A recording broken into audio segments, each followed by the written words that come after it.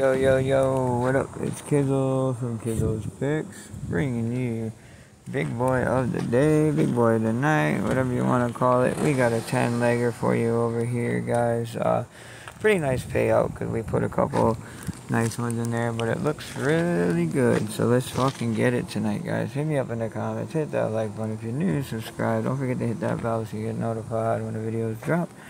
With all that shit said, let's start the fucking video.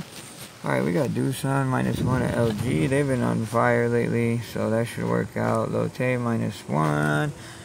At NC, I just can't trust NC. We're going SSG plus 2 at Kyle Woom.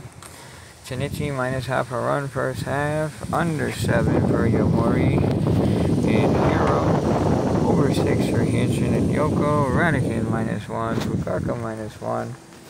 We're going over 9 for Fubon TSG and over seven for the brothers and the lions. 10 catches you 5200 man this is fucking sweet let's get it alright guys you out Peace.